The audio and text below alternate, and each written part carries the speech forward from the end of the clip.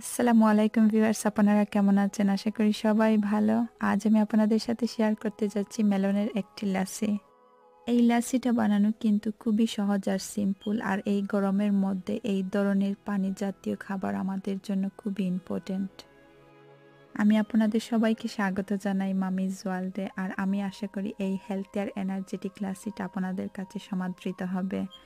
আর এর জন্য আমি যা নিয়েছি তা হলো এখানে আমি নিয়েছি ছোট্ট একটি মাস্ক মেলন, আর সেটাকে কেটে ছোট ছোট টুকরো করে নিয়েছি, আর সেগুলোকে এখন আমি দিয়ে দিচ্ছি একটি ব্লেন্ডারের ভিতরে। এখন আমি দিয়ে দিচ্ছি মেলনের মধ্যে হাফ কাপের মতো টক দই।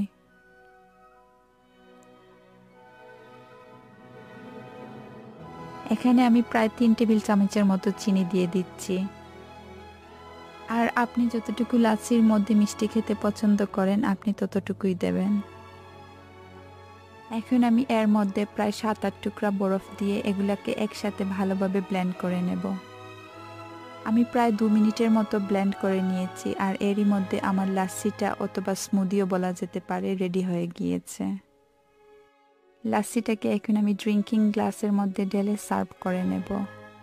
আর এই লাসিটাকে আপনি যদি আরও কিছুটা পাতলা করতে চান, তাহলে এখানে দইয়ের বদলা গরুর দুধটা ব্যবহার করতে পারবেন। যতটুকু পাতলা লাসিটা চান, ততটুকু দুধ দিয়ে দেবেন, আর এতেই পাতলা হয়ে যাবে আপনার পছন্দ অনুযায়ী। এখানে টক দই যদি না থাকে, তাহলে দুধ দিয়েও এই লাসিটা খুব সহজে সুন্দরভাবে করে নিতে পারবেন, তবে দইটা দিলে একটু ভালো হয়। আর আমি সামান্য বাদাম দিয়ে গ্লাসগুলোকে গার্নিশ করে দিয়েছি।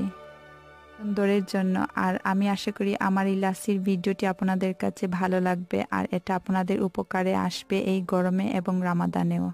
আল্লাহ হাফেজ।